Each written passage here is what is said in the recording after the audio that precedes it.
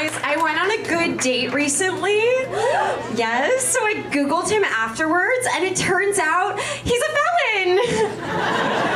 so I'm looking at the police report like, oh my god, this is such a hot mugshot. he was arrested because he sold drugs in college. Entrepreneur.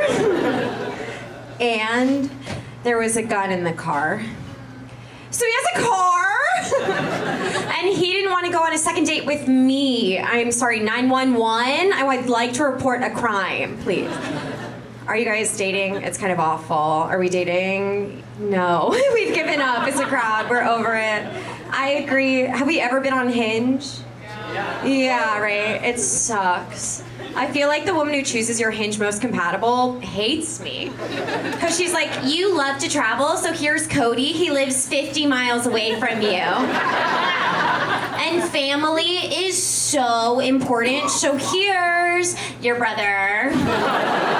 Kevin is only five six, but, but, but, so is his fish. So is his fish. Date the fish. My dad's dating. He's 60 years old. He's divorced. He's on Tinder. Who wants to date my dad? He's got a Roku. You can watch anything you want. He hates it. He hates Tinder. He says it's all women who seem like they're 30 years younger than him and they just want his money. And he already has one of those. She's here. My mom's divorced too. She's a bad mom, so make some noise if you have a bad mom. Woo! Some of you guys do. You're lying to me. You did not come here with normal parents. Okay. My mom's bad because she's an alcoholic. Does anyone else have an alcoholic parent? Yeah, I keep drinking. Uh, uh, what the woo? What is your parents' uh, drink of choice? There was a good woo back there. Wine. Wine? Oh my god. Oh my god, same. Twins. Wow. Same mom. No, my mom, her drink of choice was like a glass of Chardonnay with a side of Xanax and a splash of flirting with the pool boy. So it's like kind of classy. Like, how bad can it be if she's using stemware? It's like the Real Housewives. Do we know those women? They're all over. The intro sequence is just an AA meeting. Like, everyone deserves a shot, so I'll have two. I don't stand in lines, I do them. Walk a mile in these Jimmy Choos, because legally I'm not allowed to drive. It shouldn't be called Bravo, it should be called Boo! Boo. Let me have a bad joke. I'm the only one with a bad mom. It turns out. Do you guys remember the insurrection? Okay, because my favorite part, and there is a lot to choose from, like the vibes, the fashion. my favorite part is that women were using Bumble to find insurrectionists.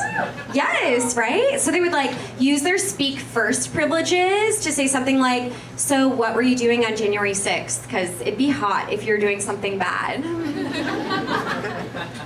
And then the guys would tell them, they would tell them, which just proves that men are only doing things to impress women. Babe, you'll never guess where I was. Nancy Pelosi's office. Used her Kleenex, babe. Is anyone in here on Bumble? Any guys? Yeah. Lazy. Okay. Uh, so in general, on Bumble, women are doing more work than men, but in this case, they were doing the work of the FBI, which just makes me think like, why is that not what's happening anyway? Because like when we have a crush, we will cross-reference Venmo requests, tagged photos, everything to find out what we want to know about our crush, like the time, uh, the date, and the place that they were born, so we get their full star chart. So